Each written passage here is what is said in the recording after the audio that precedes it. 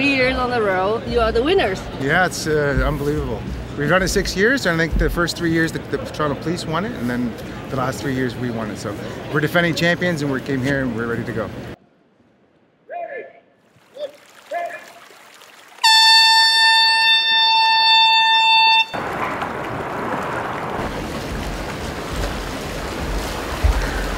You